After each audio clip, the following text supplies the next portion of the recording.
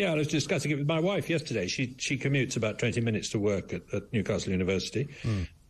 Uh, will she be forbidden from doing that? Will we have to move ten miles down the yeah. road to, to be nearer to her work? I mean, it's just barking mad that we're we're, we're quite this illiberal now, yeah. and it.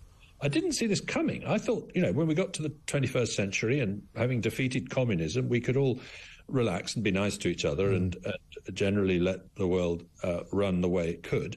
Um, uh, uh, instead of which, we seem to be slowly sinking into an authoritarian impulse mm. on all sorts of matters. Uh, and I think that's why it's important to nail the lockdown myth. Uh, mm.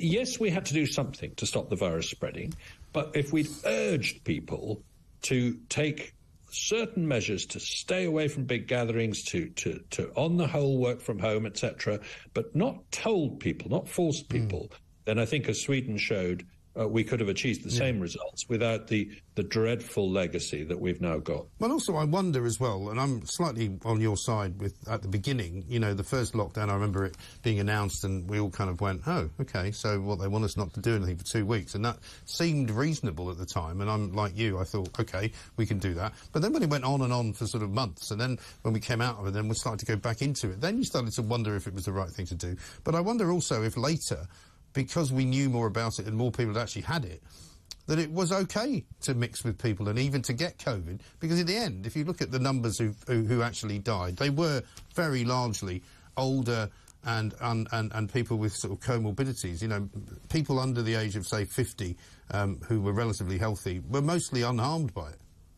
Well, the alternative proposition was always to try and protect the elderly, yeah. who were clearly more vulnerable, uh, uh, but not protect, uh, not not uh, take away the freedoms mm. of, of, working age and younger people. And we didn't try that. We didn't give it a go. We said it was impossible.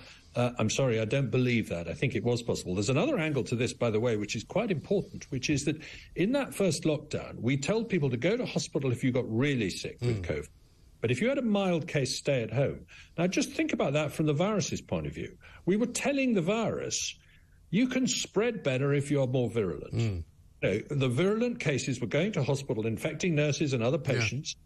The, the, the, the, mild cases were staying at home and infecting nobody. So mm. we put pressure on the virus to evolve dangerous mutants. That's where Alpha came from and Delta came mm. from. It was only once we got back to normal life that mild variants like Omicron came forward instead. So I think we delayed the taming of the virus by these lockdowns. Mm.